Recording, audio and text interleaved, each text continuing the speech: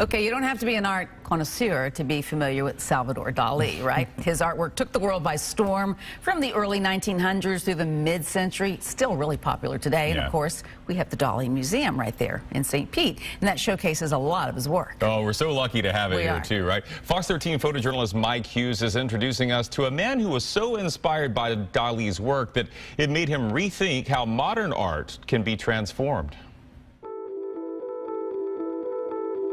I had very little knowledge of art or what art could be until one day I walked into a bookstore and saw a Salvador Dali book. Really blew my mind. It had imagery that I never conceived possible or thought that anyone had done. When I saw it, I was inspired to look further into Dali and how that art was done.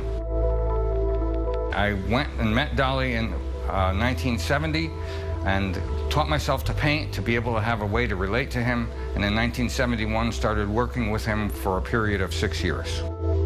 Working with Dali was an incredible and remarkable experience. Every week, every day had a new experience, a new celebrity, a new thing to be working on.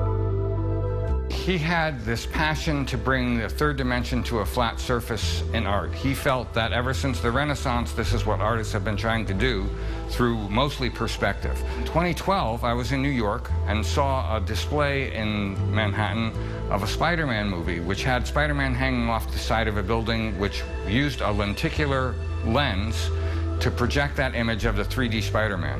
And I wanted to try to implement it in my art. A lot of my art is based on fractals, mathematical patterns that are done on the computer, and those fractals are integrated with other imagery to become the picture that I want to paint.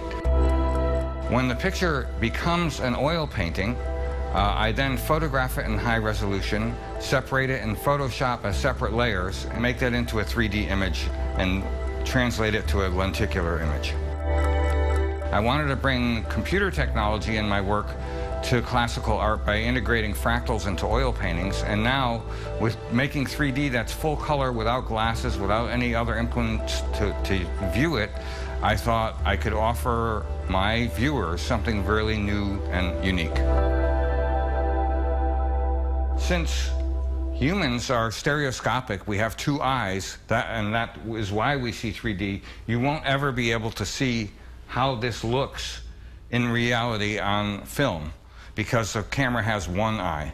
Uh, and the detail, the amount of detail and the amount of depth is really quite incomprehensible in comparison to what you'll be able to see on just a camera.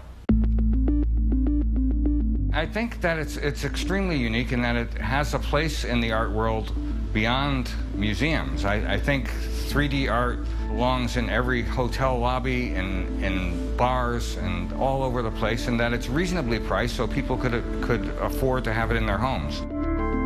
Methods used to do this with the lenticular lenses allow, actually allow you to look through the glass-like water appendages that form the head. I think that the 3D art involves the viewer more. I think the flat canvas is nice, but I, I've learned as an artist that making your canvas larger, a very large canvas, helps envelop your viewer. In the same way, having the art be 3D allows the viewer to be enveloped by the picture by making them think they could stick their arm in it or that those objects are floating around them in space.